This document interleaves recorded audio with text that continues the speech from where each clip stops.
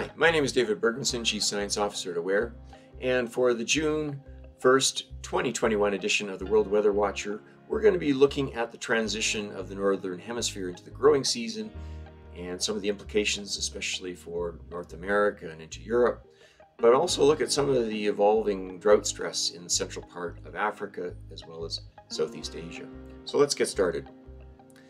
The last 30 days, we've been talking a lot about um, the dry conditions uh, for the end of the growing season for Brazil that has impacted corn prices as well as orange and coffee prices globally. But we've also been talking about the dry conditions along the west coast of the United States and the concern this is raising for uh, forest fires as we enter into forest fire season. We also have been talking about the west coast of Africa and how it's been drier than normal, and this is a concern especially for commodities like cacao that are concentrated uh, their production in the western part of Africa. And we've also been talking about Southeast Asia, especially the dry conditions that have impacted not just agriculture, but also the semiconductor industry, uh, given the chip manufacturing that takes place in Taiwan, for example. Now, when we look at the next 15 days, we see that uh, for much of the United States, a little bit drier than normal in the central part of the states, but really no cause for concern there. Yucatan Peninsula, though, is extremely dry and continues to be so as does the central part of Africa. Now, this is a concern, especially for countries like the Democratic Republic of Congo.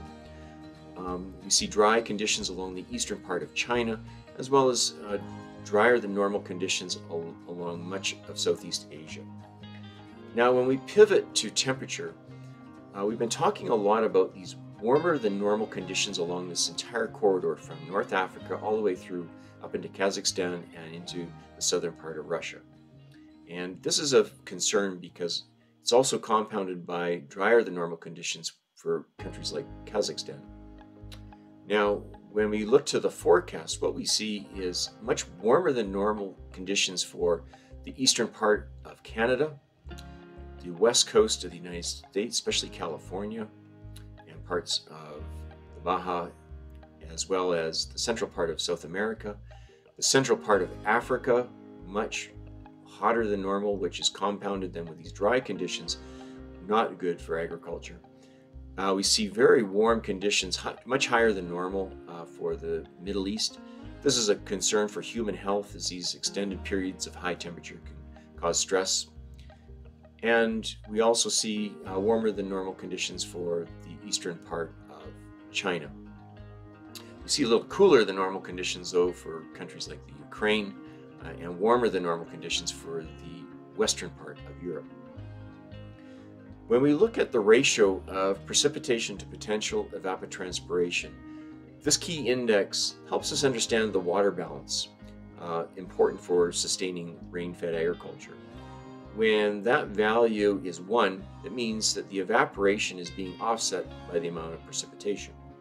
When that value is less than 1, that means that more water is evaporating from the soil than is being replaced. And when that ratio hits 0.8, crops like corn start to experience stress, especially uh, when this occurs during the flowering time or the early stages of crop establishment. This can spell significant losses to uh, rain-fed agriculture.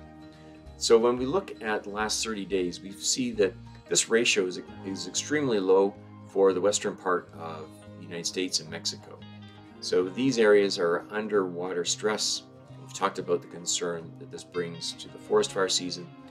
We also see, though, that for the northern part and southern part of Africa, as they uh, enter into a dry season, that this ratio is also very low and unable to support rain-fed agriculture. And we see that although the region in Southeast Asia has been lower than normal rainfall, it's still enough to sustain rain-fed agriculture based on this critical index.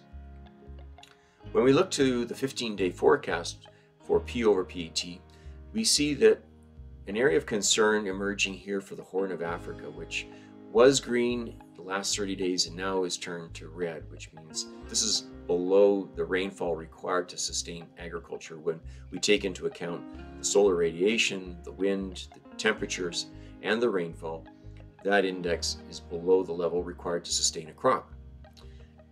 Now, When we look to the forecast for the next 15 days of this critical ratio of P over T, PT, we see that drier than normal conditions for the central part of Africa, as well as uh, drier than normal conditions for the Yucatan Peninsula and Florida, as well as parts of the western United States, eastern part of China, and Southeast Asia.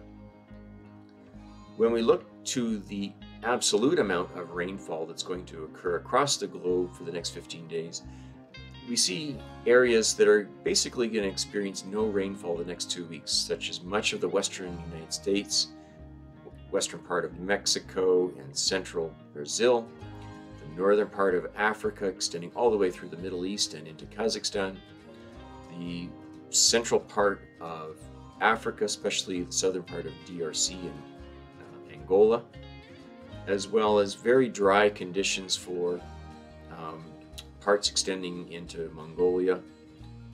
And so, as the cropping season for the Northern Hemisphere starts, these areas need to be extra careful about the combination of higher than normal temperatures and lower than normal rainfall patterns, such as countries like Kazakhstan.